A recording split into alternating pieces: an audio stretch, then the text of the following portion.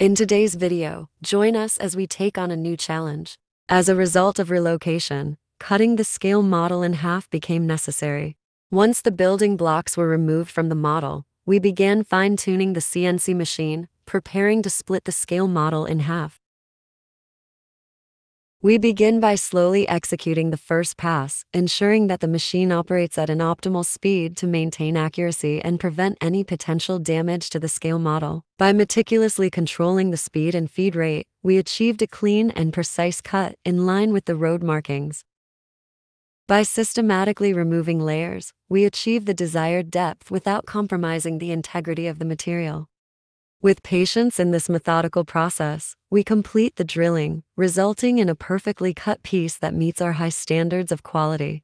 Once the cutting process is complete, we will clean up the excess dust to restore order and reveal the clean, precise cut. A steady hand and a few manual saw cuts to shape the exterior frame, then some final grinding, and the scale model is cut in half successfully.